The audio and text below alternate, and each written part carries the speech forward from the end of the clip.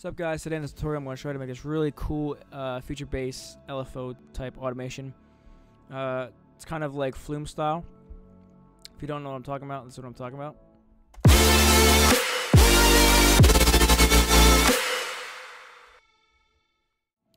Alright, first things first, let's head over to the mixer.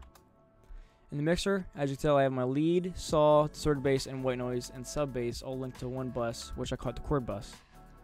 So what you want to do, you're going to add a Fruity Balance. Next, you want to go and right click on the volume and go to automation clip. You're going to double click on the automation and turn on LFO. And if you want to have a really fast speed like I did in the beginning, just turn all the way up, right click on LFO, well LFO speed, and create an automation clip. Now, we don't really need this and this, so delete that. Then let's take this, let's go down to about 55%. And now, when you play it, it sounds like this.